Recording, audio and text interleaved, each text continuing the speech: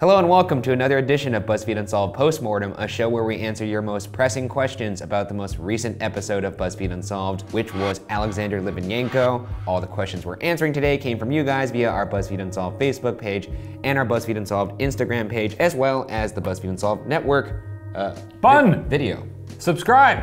on YouTube. Yep. It's the new network. You gotta subscribe, otherwise we'll kill ya. Won't do that. But We're not gonna do that. We'll be disappointed. We'll be disappointed.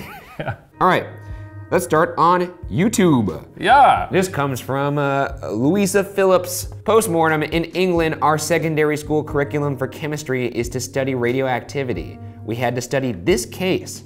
Uh, sorry. For an insight on the public's views, many people believe he was poisoned by the cup, and there are security camera recordings from the bar which show the men acting suspicious. And with our current situation with the poisoning a few months ago, our government and public believe that Russia are killing their traitors. They didn't teach us about poison in high school. Yeah, they didn't teach me much in school. Were you always in the back with your shades on, like smoking a cigarette and telling the Yeah, teacher to exactly. fuck off? Yeah, exactly like that. And I had Hey, my kick hat, rocks, teach. And my hat turned back like this, like boring. And meanwhile, I was always in the front of the class, like, "Oh, do you want an apple? I know the answer. No. Why won't anyone go to prom with me? Check out the nerd up front. Look how much he cares. What a loser. I just want to be smart." oh my god. Does that does that that answer your question, uh, Louisa? Oh wait a second. She didn't really have didn't a really question. ask a question. It was just just, hey, here's what it's like in the UK. Cool. that's cool that she, they do that. Let's uh, take it over to Grahamtown. Ocean Man 232. First of all, I love the name. This guy. Where is this? Oh, Grahamtown. Okay, Ocean yes, Man yes, yeah. 232. I see. I saw it. I saw it. Can you imagine that guy out there? He's like, let me put my board back. Quick, got a question for the boys. He says, yo, crap, wonder if it's too late to be in the postmortem. You know what? It's not. I love You, it. you made it. You made it, Ocean Man. Please check in for, for the rest of the uh, season. Absolutely. Big fan of what you do. Big Yeah, fan of your work. Big fan of Ocean Big fan Man. of your work. We got to follow that guy. Yeah. Okay, uh, let's, let's Go to- go back to let's go back to. Oh, let's go to or Facebook. let's go to Facebook. Yeah, yeah. This comes from uh, Danielle Pinninger. For postmortem, so assuming that Lugovoy and Kovtun did poison Litvinenko, wouldn't they have substantial poisoning too? Judging by how many people were tested for poisoning from just traces, I imagine they would have radiation poisoning too if there was that much of it. That's something I consider too, but I'm, I gotta imagine they must have give them, given them some kind of antidote or some kind of like, is that how this works? I I think our ignorance is really gonna shine It's gonna really through come once through here, again. I yeah. don't know if there's an antidote to that. There must be something that like you do after to to lessen the effects of radiation poisoning. Because like if they had found this earlier, they must must have been able to save this guy. Or is it one of those things where like you're poisoned with it, you're donezo? I think once you have a certain amount of exposure to it, you're done so. Then how did they not get contaminated? Um, well, I, it depends. I, if it was contained in some sort of, Like a little teapot? I don't know about a special little teapot. What if it was I like a- know. like a- I know Litvinenko. If obviously if he ingested it, then you have poisonous radiation in, your body. you. You're done for. So it's possible they had some radiation poisoning. Possible, yeah. But they didn't take any sips of that funny little That teapot, funny little tea. and uh, Yeah. they're still breathing. Here's from Imo Duffield. Do you not think he could have just realized he was dying and was like, fuck it, time to implicate everyone I hate, and that subsequently biased the investigation? Love you boys. Hashtag Shaniac. That was actually theory three in the episode. Yeah. Um, sure, I- it's it's possible. He seems like a man of integrity, though. Yeah, I mean, uh, I put that in here because I wanted to kind of defend his reputation. Yeah, I, I would say a guy who uh, outed the uh, inner workings of a corrupt organization obviously doesn't really care about his own well-being that much. Um, he he didn't make that stuff up, or at least I don't think he did. seemed fairly selfless. Yeah, I mean, it seems like he had the right intentions all along the way. I would like to think that he wouldn't just throw some bullshit at the wall at the end of his life. Unless he was just playing the long game. That's a long con. If you knew you were gonna die, would you just start just tossing out accusations? Would you be like, yeah, it was Shane? Uh, no, I'd, I'd probably binge all the TV series I wanted to before I died. That's all you do? Yeah. What what series are what do you gotta get to still? I never saw Lost. And Lost I feel is like it's one of those things I should start. Yeah, it's Um, very good. Never started The Wire. The Wire's also, great. Deadwood, another show. Deadwood show. also good. Wow, you've got a lot of TV Yeah, watch. see, so uh, maybe I should just get into a life-threatening situation, or one- one that would threaten my life over a, a period of time where I knew I was going to die, and then I would just watch all these shows. The last decade of my life, I'm not even gonna be here. I'm You're gonna just be- going to be a floating head. Yeah, I'll just You're be just like, going to be. A floating head. just having the time of my life. This comes from Esmerda on YouTube. I heard somewhere that the Russians chose polonium for the poison because in Russia, they didn't have the tech to detect it at the time. The alpha radiation that polonium emits is powerful, but has a tiny range. Can't even penetrate human skin. Sorry, I'm a little under the weather today. Uh, can't even penetrate human skin, but can wreak havoc from within. So it can't be picked up by Geiger counters. There's a lot of parentheticals in this question interesting. that are, I don't, I'm not sure. Okay. There's, there's so many parentheses in this Are question. there sub parentheticals? I love Many. that. Love that. Many. Uh, they probably figured it out, figured it would be the perfect crime as no one would be able to identify the cause of death. Apparently, they were unaware that the Brits did have the technology to detect, uh, to detect polonium. Spies are fun, huh? So this might actually shed some light on as, to why the two perpetrators, alleged perpetrators, uh, were fine. Because if it cannot penetrate the human skin, Yeah, the fact that he ingested it, he's no, he's bad. Bad news for him. The other guys are fine. Yeah, yeah. They could be uh, juggling uh, that stuff. We just playing answered hacky it. sack with it. Yeah, you can do whatever you want. You can rub it on your face, Yeah, you like this, It's not going to penetrate. like a nice bomb. just don't get it on the don't get it on the don't lips. just put it in your lips. You're done. Yeah. Dead now. Keep it out of your mouth. You're all good. Uh, we just answered a question With a question. with a question, which is normally frowned upon. I feel like you shouldn't well, answer think questions with questions. Yeah, yeah. Here's from Instagram, Laura Jukes. As a British person, I'm so happy you're looking at some cases from here. Please do more. Also, so I can hear you mispronounce all our funny place names, please try and say, and she gives us two words. I want you to take a crack at them first. Uh, uh, Worcester? Worcester. Worcester. is what you said? Worcester. And? Leo Minster. You're just dropping that T there. Yeah. Leo Minster. Leo Minster. I, I, I think I'm gonna go with Worcester. I'm trying to rem- like whenever I see British names now, since we went to the UK. You know they're not pronounced in a reasonable way. well, I mean, also like I imagine them said with the same intonation and cadence of that guy who announces the names on the tube, like oh. Leicester State, Paddington State. Oh, yeah. You know what I'm saying? So like, Yeah. yeah, that's how I was trying to pronounce. I think it's Worcester and Leominster. Maybe. Leominster Station. Leominster. Yeah, I can see that. Yeah. Leominster. Leo, Worcester. Leo Minster. It's like whoosh. It's it's that special sauce you put on stuff. Oh, like Wor- yeah, yeah, yeah, Worcestershire yeah. sauce? Worcester sauce. What- what do you- Worcester sauce?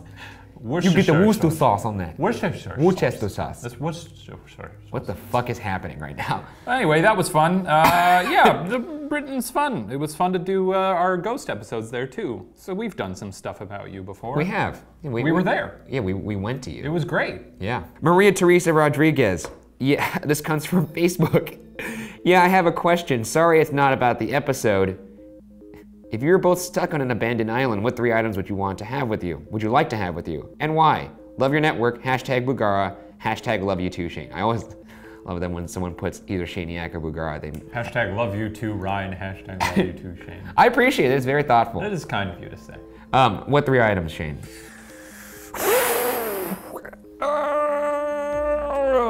Oh, this is tricky. If I said, oh, my Blu-ray collection of the Mission Impossible series, Yeah. that would be worthless because I don't have a television. You television. don't have a television, you can't plug your thing into the sand or a tree. Maybe the novelization of the Mission Impossible series, Okay, you if that's a thing. That's okay. I'm clearly seeing what your pri- priorities Maybe it's right out now. there. Okay. Yep. Um, some kind of big hat for just to block the sun, and then um, and some floss. Okay. Yeah, it would be good to floss. Yeah. Dental hygiene's always like important. Or maybe a lighter. No, floss. Yeah, floss. You gotta have that floss. I was a Boy Scout. I can start a fire. What are you bringing? Oh, let's see. I would probably want to bring some kind of like a device that could filtrate salt water into drinking water. Okay. I'm sure I think that that might be hard to do. I mean, there is a life straw. I don't know if that works with salt water. What the fuck is a life straw? You don't have a life straw? What's a live straw? A life straw is a very cheap straw. It costs like 10 bucks. You can get it at REI. Um, it's good to take when you hike or could potentially get lost somewhere because you just dip it in a river, you drink it. It has a very effective filter in it, so you can drink river water without uh, getting any kind of bacteria. I gotta get. I gotta get my hands on a live. Yeah, straw. they're super cheap. You Also, I just one. love the image of me just plopping down on a little riverbank. yeah, Just plopping, just putting a little straw in a yeah. river. I have one at home. And for people like me that don't know what a live straw is, they'd be like, What's he doing? that guy just put his this little straw in the river like it was like a milkshake, like Daniel Day Lewis. Yeah. Oh my god, good. I love that. Yeah. I gotta get me a life. I'll take a Yeah, life. So yeah, I guess I'll bring a life. life straw. I'll take a life straw. Yeah. Um, let's see what else. Oh, I'd bring a plane. That's good. Yeah, that way I Yeah. could fly off the island. Or like a fuck, like one of those green laser pointers, so you could point at ships or something. I'll bring a life straw, a plane, and Captain Sully. Ca- You're bringing Cap. I'll bring the cap with me.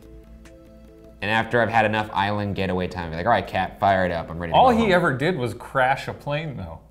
I'm sure he could uncrash a plane. I'm like, I'm a little under the weather. My brain's not working that well right now. Uncrash a plane.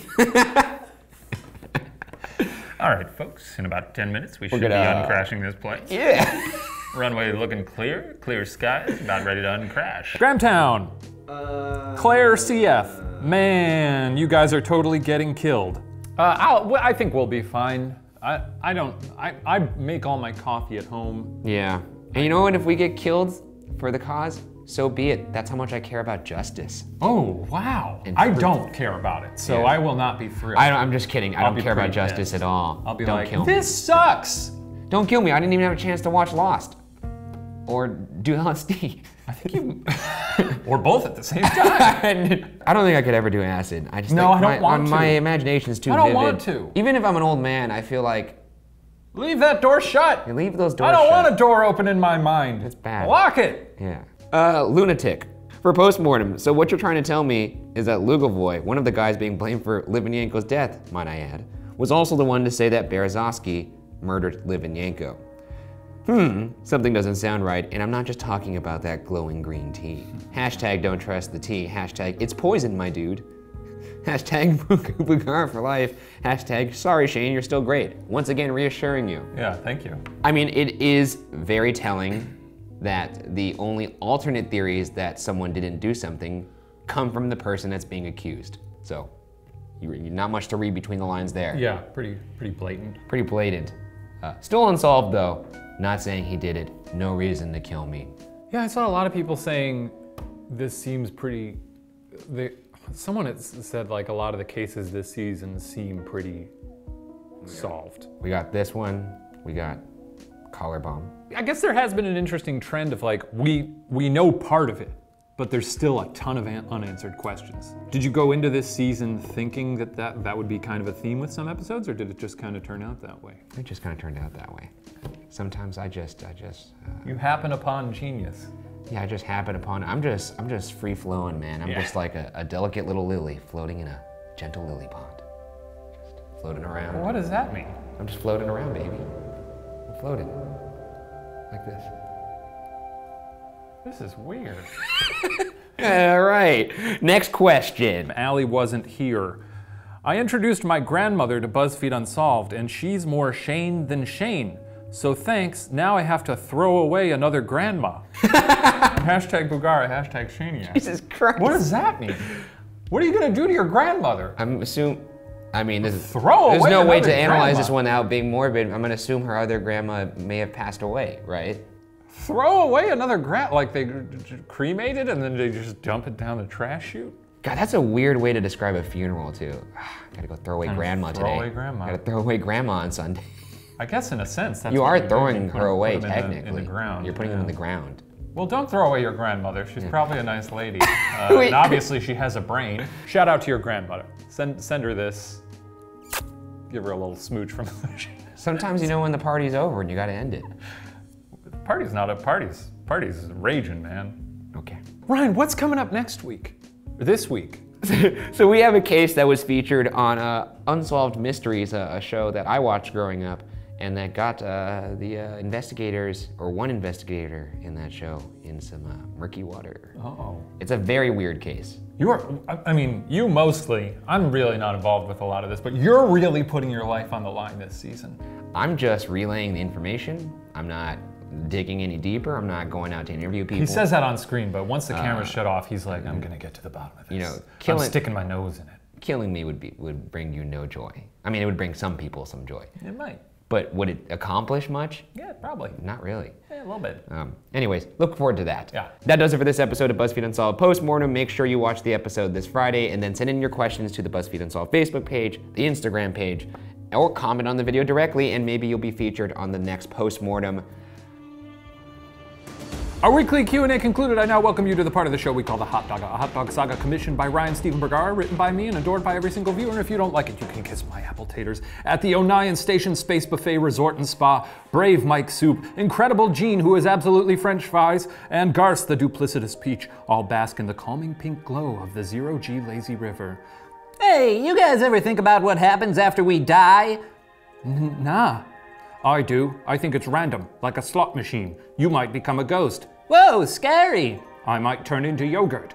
Garth might go straight into the devil's red hell and suffer for all eternity while maggots crawl through his stinking body. Who can say? okay, well, I hope I become an angel. Yeah. like with big golden wings. They're even more beautiful than my Pop Pop's eyebrows. Uh, You know, Garth, maybe it's all this relaxing, but I honestly can't even remember why I was angry at you in the first place. He and his father drugged and kidnapped us and lured us here for reasons unknown, only to, or for reasons known only to the Dark Master. you know what, guys? I, I don't even care. We're in a kick-ass lazy river, and I couldn't give two pickles. Frankly, I don't care either. This place has such a calming influence on my stern temperament. I feel as giddy as a chowder. Oh, make way for the juggernaut! Dr. Gundis, a large, very relaxed chicken, floats past the gang. Whoa, howdy, fella. Well, aren't you just the king of the river? Haha, ain't that the truth? Something about this place just makes a person feel like royalty. Say, Featherman, you look familiar to me. Huh? Hey, now that you mention it, so do you. And the little blue guy. Those dog tags you got. You ever see service? Well, feels like a lifetime ago, but yeah, I think so. Whoa, thanks for your service. Did you ever assassinate the Pope? You know what? I did, I think. Ernie? Soup! Whoa, whoa, the venerable Dr. Gundis. Sorry about my dad being such a dick all the time and for following his orders without question. Oops.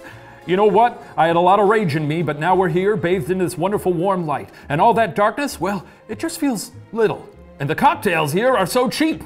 Well, I'll be canned. I truly can't believe it. Ernie Gundis in the flesh. This is my good friend Jean, a talented French fries who's from the future. I secretly find his positive attitude very charming. Whoa, nice to meet you. You're a big part of our whole mission. Or were, I think. Now we're just so chilled out here, it's like, hey, let's swim, you know? Read my mind, Jean. No, choo choo! Here comes the Joblet trolley, and this little chugster is drunk as a truffle pig. Joblet and Smeech float into the river. Whoa, it's the gang! Hey, it's you. I hate you, and I'm glad you look all fucked up, but I got nothing but chill vibes for you right now. Namaste or whatever.